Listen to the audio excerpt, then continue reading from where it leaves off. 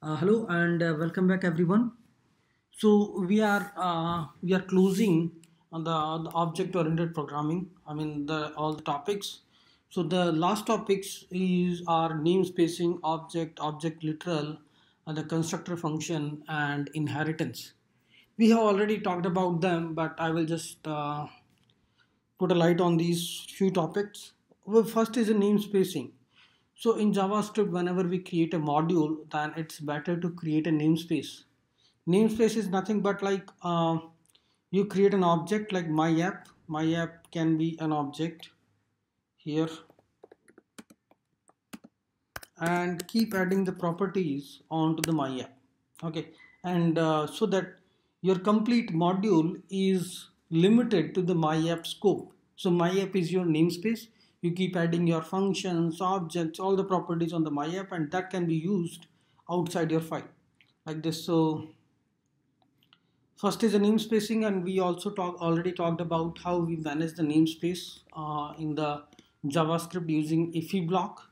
So consider this is the one way otherwise you can just create a IIFE block. IIFE block is nothing uh, it's just a function. And uh, inside this block you write your old code of that module right? So this is the namespacing we have done. Object literals how we are creating the objects uh, which is plain and simple. We are creating the object putting the the properties inside the objects like uh, these are the objects which we have these are the properties we have created right? Mm -hmm. and uh, another thing is like how we are creating how we are calling the function factory functions like create person is a function and uh, what it is returning it is returning this json object. So you can while calling to this function once you call the function you will get the object. So function can return another function function can return an object function. So a lot of things have, can happen with the function right? So this is the factory function who is returning an object so if you talk about the revealing pattern, which we discussed, revealing pattern return object from a function. Okay. Another thing is a constructor function. Uh, while creating the so constructor function is used to create an object. So this is the person is a function. If I wanted to create an object, what I will do? New person, right? And similarly, the new user is there, function user, and I just call the new user So uh, here like user is a function and we are creating an object like this using new keyword. This is the very basic thing which we have done.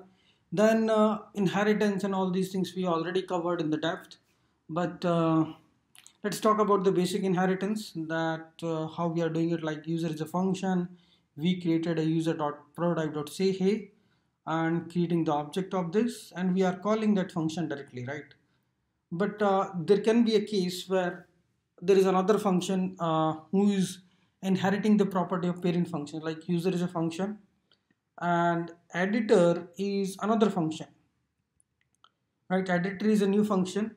So how can I get the say hi method from the user prototype to the editor prototype? That's the very easy. Either you can do um, editor.prototype equal to new user. There are different ways of doing it either you can do something like this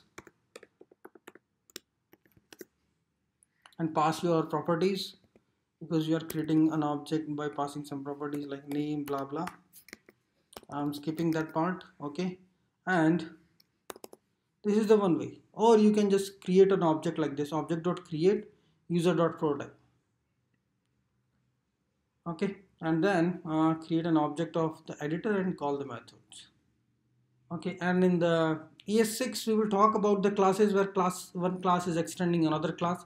That is also another form of inheritance which is just a syntactic sugar. In directly it is using the function prototypes only for the inheritance purpose.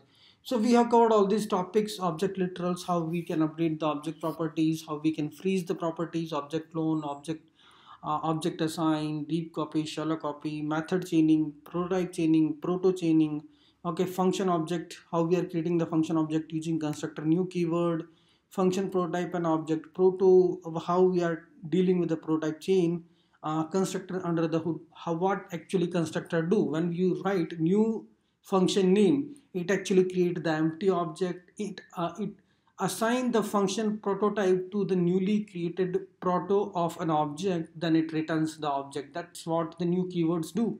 Okay that's it uh, on the inheritance part. Now i will be covering the few javascript design pattern like revealing design pattern singleton design pattern maybe a factory design pattern and the constructor design pattern. So we broadly divide them in the creational behavioral and uh, structural design pattern so I will not distinguish based on those patterns. I will just talk about the generic uh, design patterns which we use in JavaScript like prototype pattern, factory, uh, singleton, and observer pattern and all. Thanks everyone.